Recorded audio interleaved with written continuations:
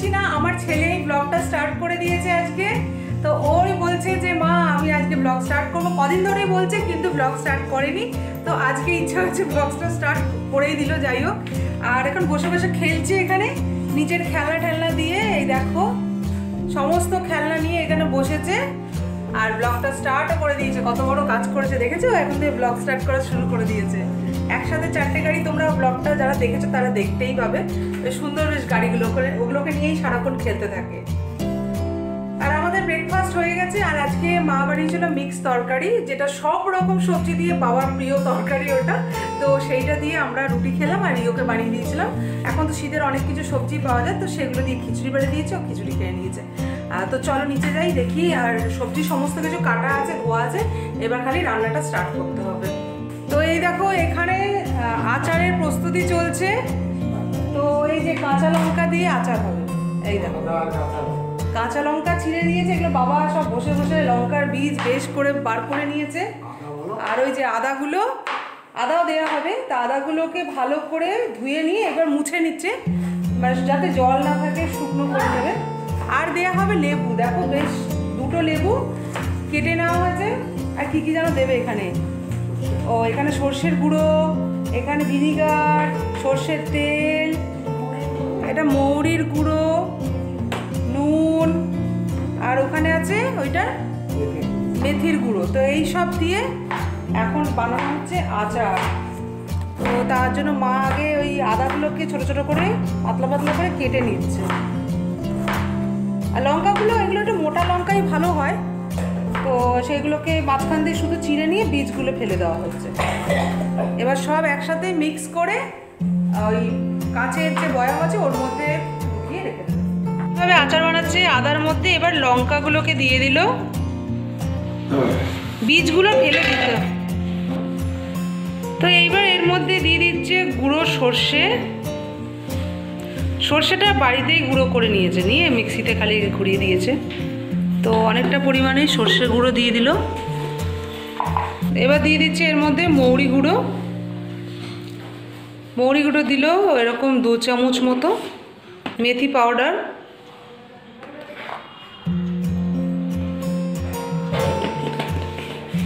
এবার দিয়ে দিচ্ছে লেবুর রস করে। তো এটা একটু টক টকও হবে, সেই জন্য লেবুর রসটা দিতেই হবে। তো এখানে দুটো লেবু নেওয়া হয়েছে, দুটো লেবুকেই ভালো করে রস বানিয়ে দিয়ে দেওয়া হচ্ছে। এবারে এর মধ্যে দিচ্ছে লবণ।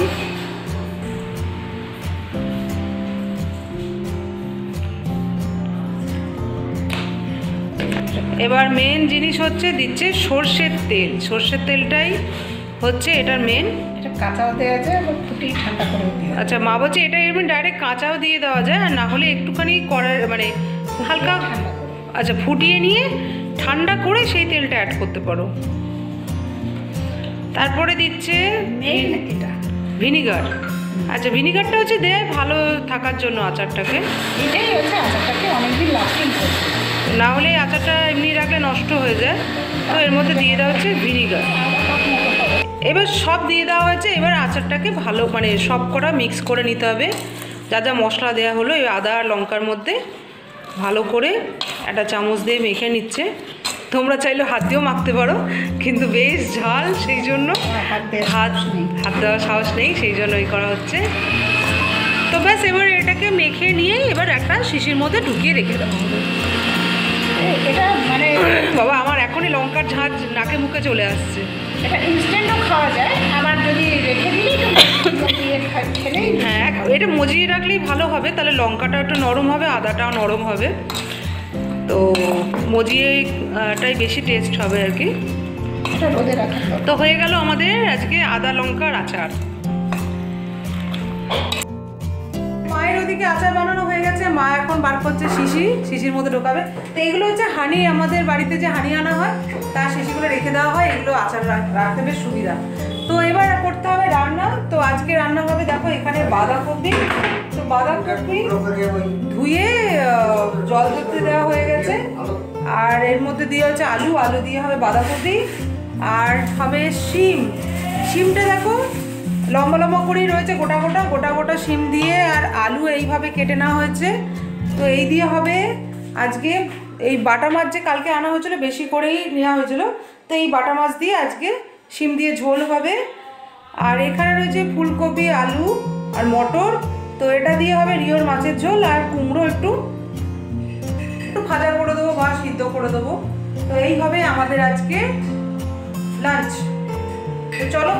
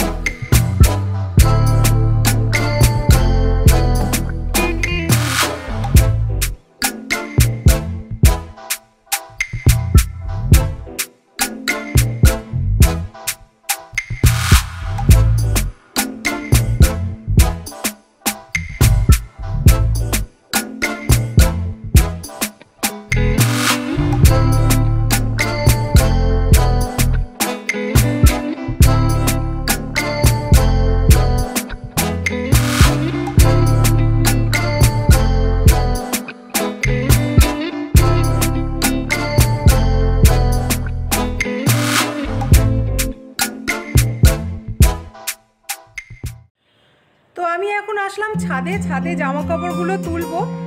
আর যদি ভাবি যে জামা কাপড়গুলো শুকোক, আমি বিকালবেলা এসে তুলে নিয়ে যাব। কিন্তু ততক্ষণে এতটাই ঠান্ডা পড়ে যায় আর এত অন্ধকার হতে শুরু করে যে তখন আর ইচ্ছা করে না। আর দেখবে খেয়ে দিয়ে উঠে যদি একটু ঢাকা ঢুকে দিয়ে শোয়া যায় না, তখন আর উঠে ছাদে আসব জামা কাপড় তুলবো, সে আর ভালো লাগে না। সেই জন্য খেয়ে দিয়ে উঠেই এখনই ভাবছি তুলে নিয়ে নিচে শুকোতে দিয়ে দেবো। দিয়ে তারপরে গিয়ে একটু শোবো। বাবা বসে বসে মোবাইল ঘাটছে। মা, ওই যে মায়ের মাথা দেখা যাচ্ছে না? মা গাছের ফটো তুলছে। তো আমাদের গাছের ফুলগুলো দেখো, যখন তো, এই দেখো, কি সুন্দর ফুল হয়েছে দেখো। হলুদ রঙের আর এই রংটাই বেশি হয়েছে দেখি ও আর একটা আছে এখানে, হালকা হলুদ হলুদ। এই দেখো, সাদা আর হলুদ। কি সুন্দর ফুল হলো হয়েছে, তাই না? মা ওখানে ফটো তুলতে ব্যস্ত। এই দেখো। একটু দেখো। এই ফটো তুলছে। মা এতে দেবে। ফ্যামিলি মানে ফ্রেন্ড আছে রিলেটিভ আছে তাদেরকে দেখানোর জন্য।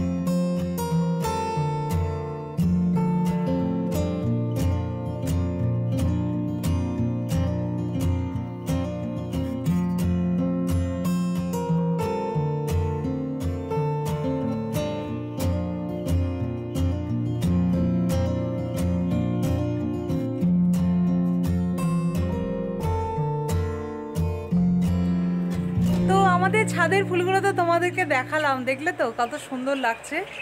এখনও দেখতে পাচ্ছ, পেছন দিকেই রয়েছে। আর ফুলগুলোর সাইজ বেশ বড় বড় হয়েছে। আসলে বাবা না এটা মানে এইসব ফুল, ফলের জন্য না অনেকটা খাটনি করে।